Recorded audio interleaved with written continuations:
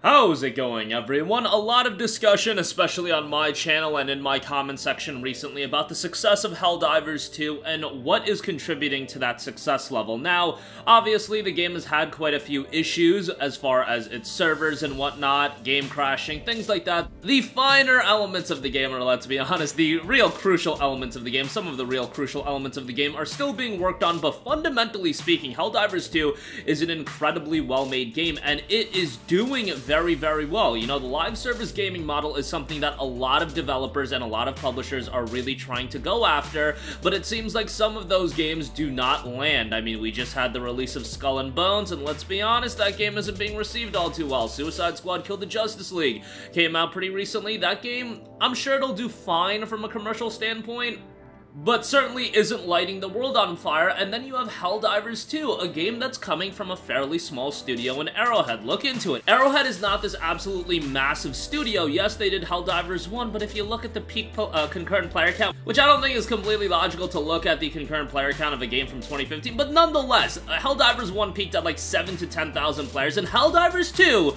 has recently peaked at over 400,000 players. So yes, a lot of people do want to cut them some slack, and I think rightfully so we do gotta cut Arrowhead some slack. It's just, I'm a little upset about the fact that this game has been out for what? almost two weeks at this point, a week and a half or so, and there's still a litany of server issues. But let's not talk about that right now. The game has been a gargantuan success, and why has it been such a big success over so many other live service games that have come out, over games like Suicide Squad, Skull and Bones, I don't think anybody was really expecting that game to do well, but there's been a lot of games that didn't resonate at a high level, especially games like Helldivers 2. It would have been very easy for this game to come out, it peaked at a certain player count, and then, you know, just like so many other games, it tapers off and then people drop off. But a week and a half later, and as I'm recording this video, there's about 200,000 concurrent players online, which, yes, if you compare it to, let's say, Palworld, that's not that impressive of a number, but Palworld has fallen off as well, but it's stabilized at around 250k still. I believe that's around the number it's sitting at, which is still an incredibly, incredibly impressive number for a game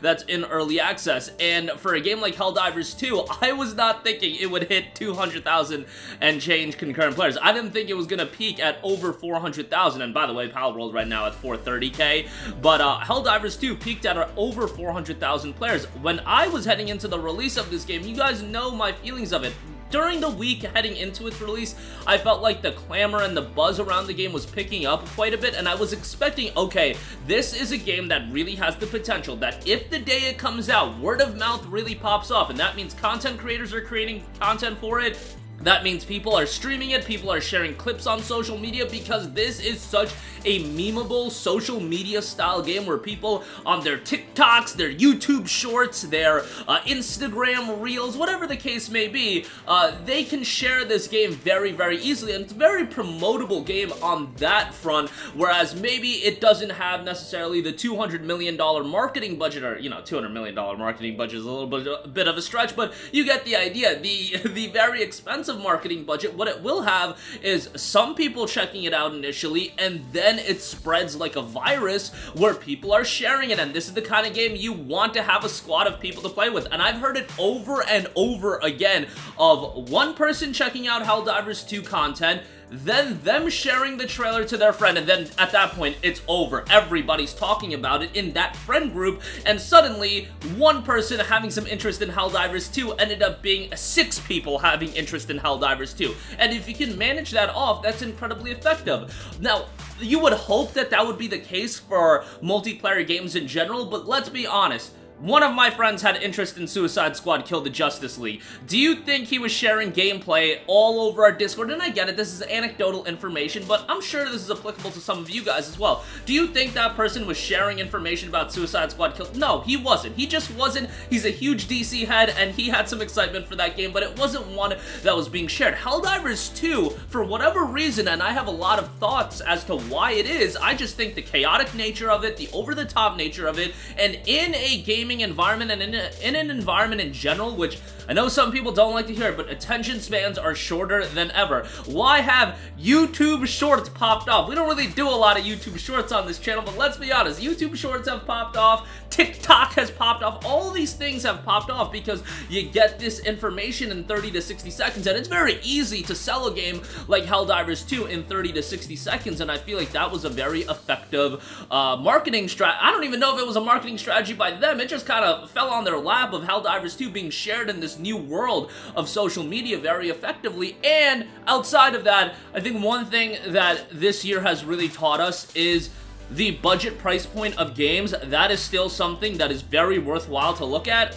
Palworld, priced at $30, and Shrouded wasn't super expensive, and now Helldivers 2 is another game that's not your typical $60, it's $40, and you can get it cheaper on uh, other e-tailers and whatnot. That is an incredibly attractive price point that, yes, if it's a game that you're gonna sell to your friends, I don't know if this game would have been as easy to sell to all my friends if it was a full $60 release. Now, some people did check out the Super Citizen Edition, and I'm not gonna lie, I think the majority of my friends at this point, because they like the game so much, have sunk money into the game that effectively made it a $60 game, but the initial uh, element of them checking out the game, I do believe that $40 price tag was incredibly attractive, and you look at other live service games, what I always talk about when I think live service games are getting a little bit too greedy, and I get it, it's a business, we gotta make money, but I look at a game like Suicide Squad, I look at a game like Skull and Bones, those games both had $70 price tags. Not only that, you also had a deluxe edition release for the games that had this early access gimmick tied into it. That's It's not really early access, guys. The game is done.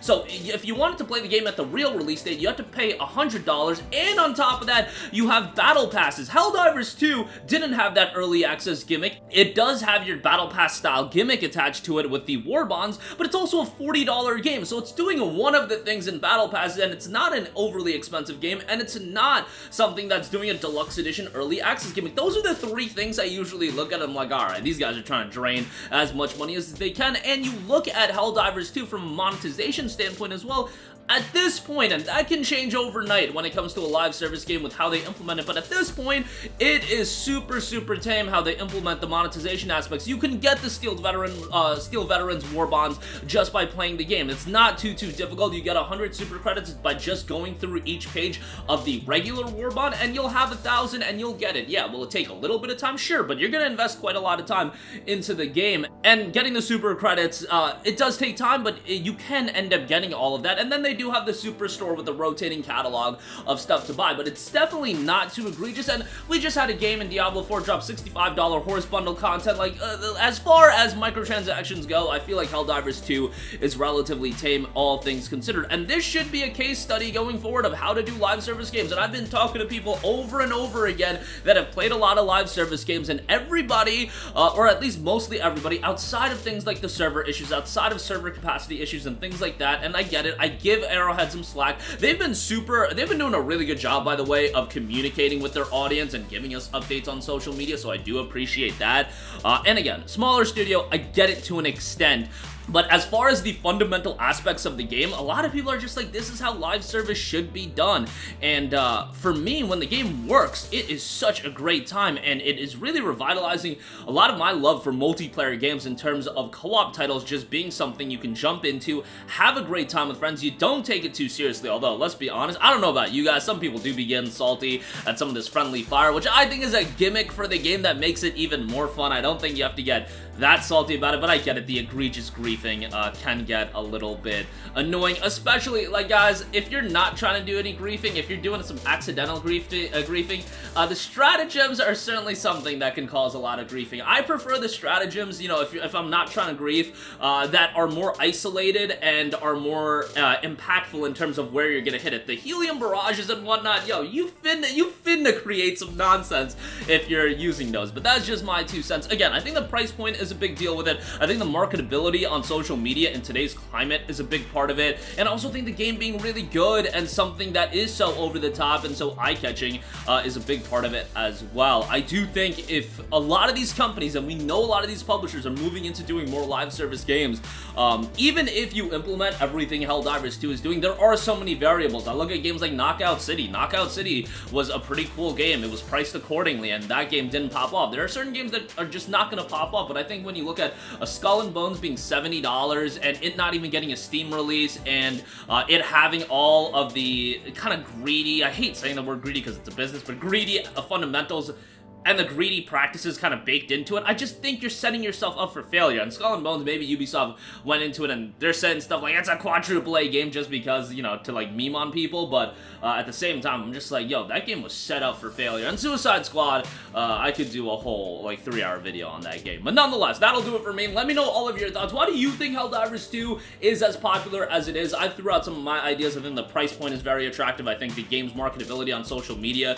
is incredibly strong, even if it didn't have have a focused marketing push by Sony and PlayStation. Uh, what it did have is the people just talking about it, and I've always said that's more effective marketing than anything you can buy. But that'll do it for me. Your thoughts down below, sound off there. Thank you for watching, and goodbye.